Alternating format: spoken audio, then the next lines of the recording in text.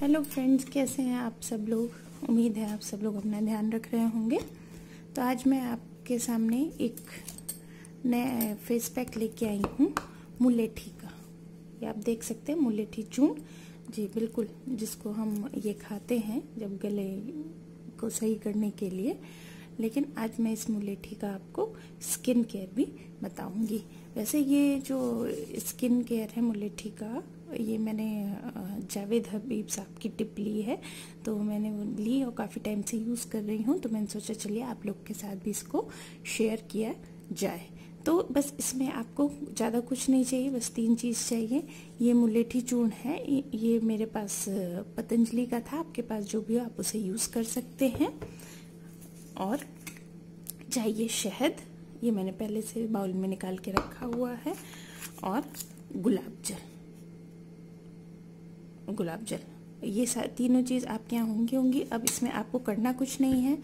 इस शहद में इस मुलेठी पाउडर को, शहद में इस मुलेठी पाउडर को डालना है थोड़ा सा और उसके साथ साथ हमें इसमें डालना है थोड़ा सा ये गुलाब जल।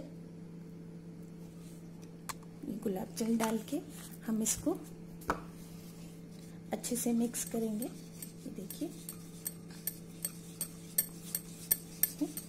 इसको मिक्स करेंगे।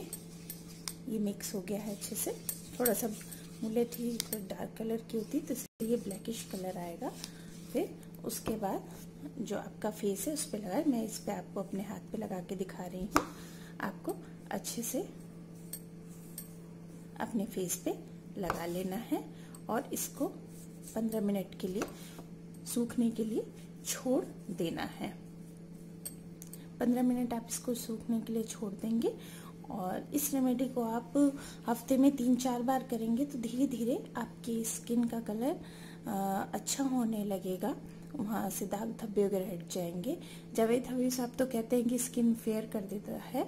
तो फेयर तो नहीं कहूँगी हाँ लेकिन ये कहूँगी कि हाँ ज़रूर थोड़ा धीरे धीरे अगर आप इसको रेगुलरली हफ़्ते में तीन चार बार यूज़ दो तीन महीने तक करेंगे तो फिर ज़रूर आपकी स्किन में डिफरेंस आता है। तो अगर आप आ, कहेंगे तो मैं जावेद हबीब साहब की उस जो वीडियो में जिन्होंने ये मुलेठी के बारे में बताया था उसका लिंक भी नीचे दे दूँगी। तो आप देख सकते हैं कि ये उन्हीं की आ, टिप है है स्किन केयर की। तो आप इसको ज़रूर एक बार ट्राई कर सकते हैं अगर आप अपनी स्किन को फेयर बनाना चाहते हैं। तो चलिए, मिलते हैं फिर किसी और वीडियो में, तब तक के लिए बाय